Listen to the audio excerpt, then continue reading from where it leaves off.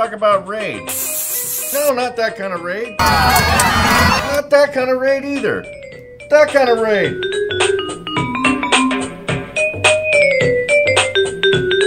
Hi, everybody, and welcome back to another episode of D-Link TV DIY. I'm Mike, and I'm here to help you get more out of your network.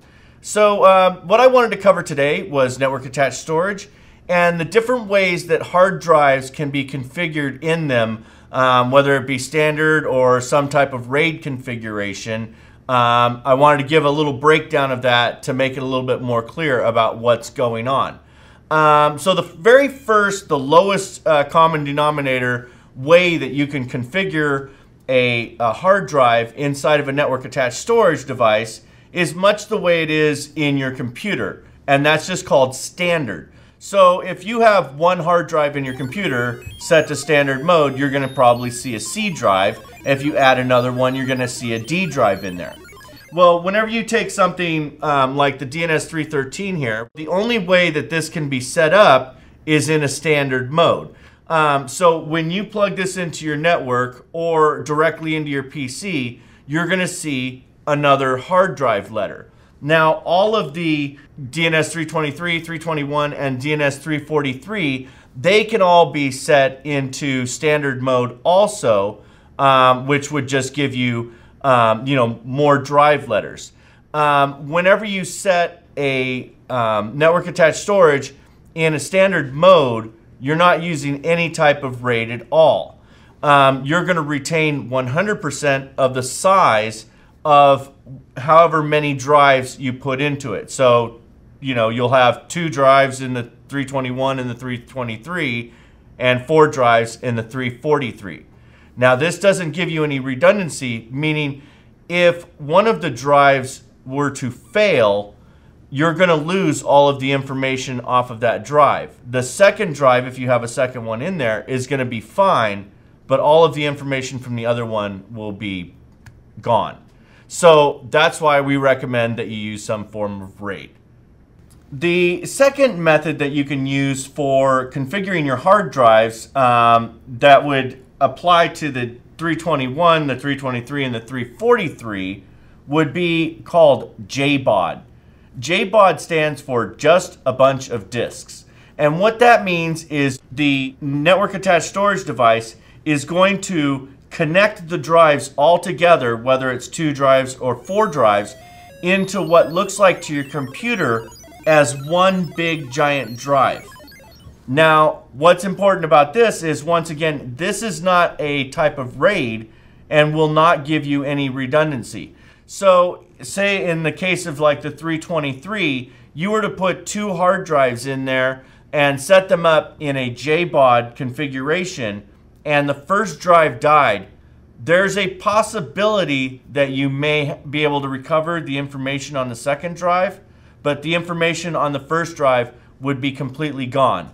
Now, this would be okay if you had uh, a backup of your information somewhere else and you just wanted something that you were going to stream music and movies off of and you want just a lot of space. That's kind of what you would use JBOD for. The third way to configure your hard drives is to use what's called striping. This is RAID level zero. What this is good for is when you need a lot of speed when you're downloading or reading something off of the network attached storage device. What happens is when you set your network attached storage device to be in striping mode, it's going to take and split the data onto however many drives that you're using, whether it's two in the 323 or the 321 or four in the 343. Um, what this is good for is the speed, like I was saying. Maybe you're going to stream a movie or something like that, and you want to get the best speed possible. You would use striping because the NAS box is going to read off of all the drives at the same time. Now, what's important is there is not any redundancy using this mode of RAID either because half of the information is on one drive and half the information is on the another drive if one of these drives fails, you only have half of your information. So I wouldn't use uh, RAID 0 unless you have a backup of your data somewhere else. The fourth way of configuring your uh, drives in a network attached storage is to use RAID level 1.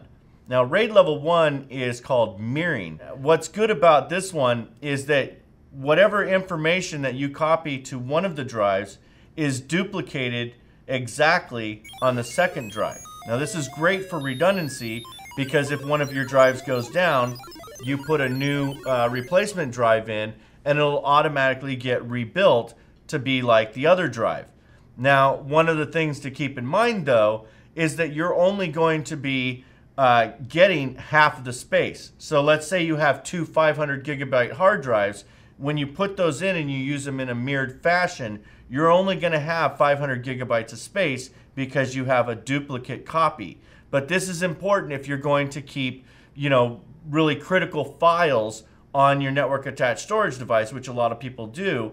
I highly recommend using um, RAID level 1 for the DNS 321 and the DNS 323 so that you don't lose your data. So the final method of hard drive configuration for D-Link products um, is RAID level 5. Now, since there it requires more drives, RAID level 5 is only available on the DNS 343. What it does is it combines striping with mirroring, but in this case, it's called striping with parity. And what the parity does is it puts um, parity bits that can check the other data to make sure it's correct um, in the event of a hard drive failure. If one of the hard drives should fail, the other three drives can rebuild it, but you also gain the performance of the um, striping. So um, if you have really critical files, maybe they're really big and you need to be able to get to them quickly, um, RAID level 5 is what you want to go for. Here at D-Link TV, that's what we use for saving all of our videos. Now, one of the most important things to keep in mind when you're setting up uh, any one of these hard drive configurations is how much space that you're going to get from the particular you know configuration that you decide to go with. When you're using the standard mode, you're going to get 100% of all of the hard drive space of however many hard drives you put in because they're just viewed as normal hard drives like what would be installed in your computer. When you're using JBOD, you'll get the total amount of all of the hard drives combined into one single giant hard drive. With RAID 0, which is the striping method, you'll gain the total space of both drives added together but it will show up as one drive in your computer. When you're using mirroring, which is RAID 1, you're going to get 50% of the amount of space of the smallest hard drive in the set. The reason being is because you can't mirror, you know, the extra space. So it goes with the smallest drive possible. And then using RAID 5, which is the striping with parity, you're going to gain three quarters of the total of all four drives. So that's really important to keep in mind so that you don't look at your hard drive space and say, you know, wow, I'm missing a whole terabyte. You'll know why. Well, there you have it. I hope that clears up the different methods uh, for configuring the hard drives in your network attached storage. It all depends on what you want to use your NAS for. Um, so that's going to do it for this week. I'm Mike, and thanks for watching.